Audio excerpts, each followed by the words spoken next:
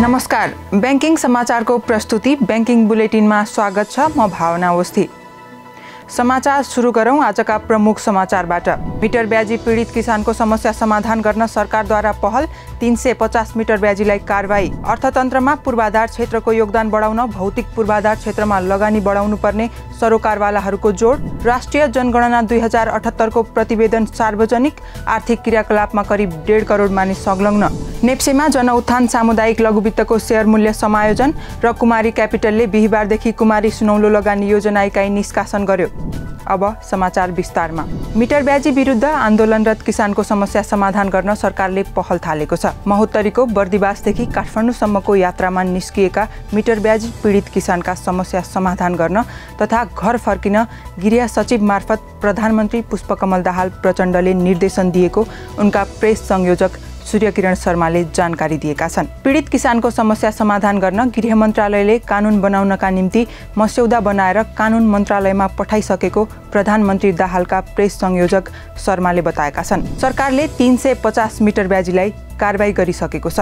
भौतिक पूर्वाधार क्षेत्रमा लगानी अपुग भएको सरोकारवालाले बताएका छन्। अर्थतन्त्रमा पूर्वाधार क्षेत्रको योगदान बढाउन यस क्षेत्रमा ठूलो लगानी आवश्यक रहेको उनीहरूले औल्याएका छन्।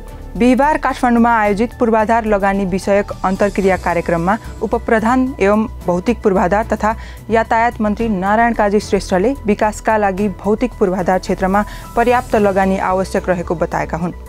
एसिया तथा पश्चिम प्रशान्त क्षेत्रका निर्माण व्यवसायीहरूको अन्तर्राष्ट्रिय सङ्गठन र नेपाल निर्माण व्यवसायी महासङ्घले संयुक्त रूपमा आयोजना गरेको उक्त कार्यक्रममा उनले पूर्वाधारमा पर्याप्त लगानी नभएको धारणा राखेका छन्। शुक्रबार राष्ट्रिय जनगणना दुई हजार अठहत्तरको प्रतिवेदन सार्वजनिक गरिएको छ। सार्वजनिक गरिएको प्रतिवेदन अनुसार करिब डेढ करोड मानिस आर्थिक क्रियाकलापमा संलग्न रहेको पाइएको छ। जनगणनाको नतिजा अनुसार दस वर्ष वा सोभन्दा बढी उमेरका व्यक्तिले गरेको आर्थिक कामलाई नेपाल स्तरीय औद्योगिक क्षेत्र अनुसार वर्गीकरण गरी प्रस्तुत गरिएको छ। आर्थिक काममा एक करोड उनपचास लाख त्रियासी हजार तिन सय दस संलग्न छन्। तीमध्ये सबैभन्दा धेरै कृषि वन र माछा पालन क्षेत्रमा रहेका छन्। त्यसपछि क्रमशः थोक एवं खुद्रा व्यापार मोटर गाडी तथा मोटरसाइकल मर्मतका कार्यहरूमा संलग्न रहेका छन्। नेपाल स्टक एक्सचेन्ज नेप्सेमा जनउत्थान सामुदायिक लघुवित्त वित्तीय संस्था लिमिटेडको सेयर मूल्य समायोजन भएको छ। नेप्सेले लघुवित्तको सेयर मूल्य समायोजन गर्दै प्रतिकिता नौ सय सत्तालिस रुपियाँ त्रियासी पैसा कायम गरेको छ। यसअघिको अन्तिम कारोबार मूल्यअनुसार प्रतिकिता एक हजार नब्बे रुपियाँ थियो।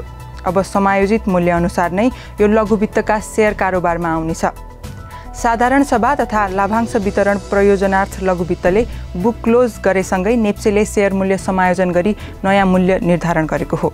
कुमारी क्यापिटल लिमिटेडले बिहिबारदेखि कुमारी सुनौलो लगानी योजनाको इकाइ निष्कासन तथा बिक्री खुल्ला गरेको छ। उक्त योजनाले प्रति इकाइ दस रुपियाँ अङ्कित मूल्यका दस करोड इकाइ निष्कासन गरेको हो। धितोपत्र निष्कासन तथा बिक्री प्रबन्धक कुमारी क्यापिटल लिमिटेडका अनुसार हाल पचास करोड रुपियाँ बराबरको पाँच करोड इकाइ सार्वजनिक निष्कासन मार्फत बिक्री गरिनेछ भने बाँकी रहेको पाँच करोड इकाइ सामूहिक लगानी कोष नियमावलीको व्यवस्था बमोजिम योजनाको इकाइ योजना व्यवस्थापकले तोकेको वितरक मार्फत निरन्तर खरिद बिक्री गरिनेछ।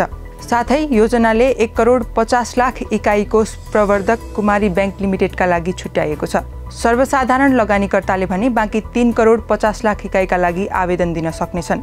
निष्कासन बन्द छिटोमा चैत तेह्र गते हुनेछ भने सो अवधिसम्ममा पूर्ण आवेदन नपरेमा निष्कासन अवधि चैत तेइस गतेसम्म लम्बिनेछ। लगानीकर्ताले न्यूनतम सय इकाइका लागि आवेदन दिनुपर्नेछ भने अधिकतम पचास लाख इकाइका लागि आवेदन दिन सक्नेछन्। हवस् त आजका लागि ब्याङ्किङ बुलेटिन यति नै। भोलि फेरि वित्तीय क्षेत्रका ताजा अपडेट लिएर आउनेछौँ। नमस्कार।